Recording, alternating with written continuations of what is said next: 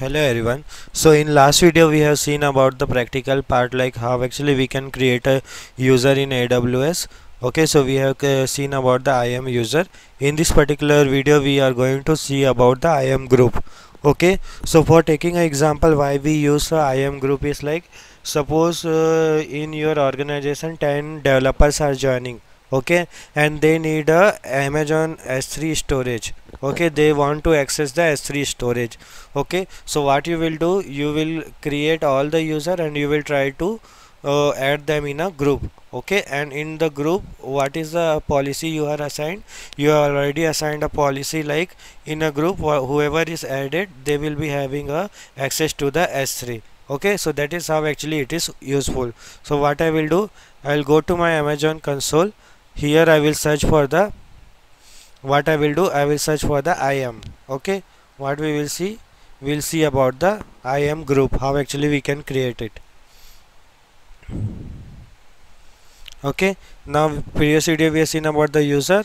Now in this video we will see about the user group. So click on the user group in the left side okay? Click on the create group okay? Here I am creating a group name is as a developer okay? So this is the group name I am assigning okay?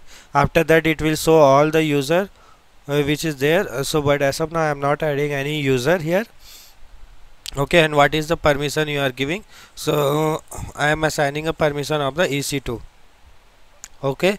So whoever uh, will be uh, adding in the group will be having a EC2 access. So I will select that. Okay and create group.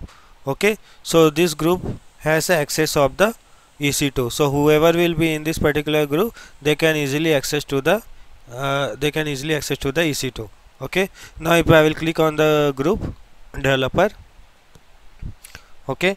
Now from here you can add a user. So I'll click on the add user. Okay? So what I will do this uh, uh, data analyst I will add. As of now this uh, data analyst has only the Amazon S3 access. EC2 access doesn't have. So I will try to add this data analyst. Okay so I have added this. Okay? Now what will happen? This data analyst will be having a EC2 access also. Okay? So what I will do? I'll just click on the data analyst. Okay? Go to the security credential. And this is the console and we'll try to log in. Okay? We will try to log in. And we'll see whether this user has a EC2 access or not?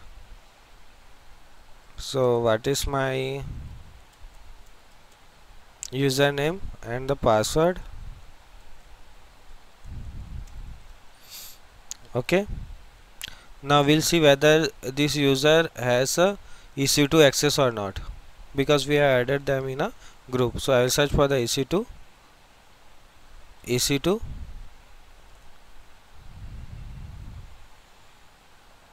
now you can see this user is able to access to the EC2 instance.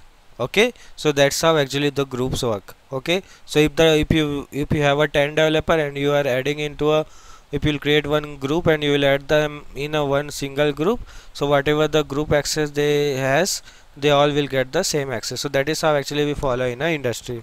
I hope you got it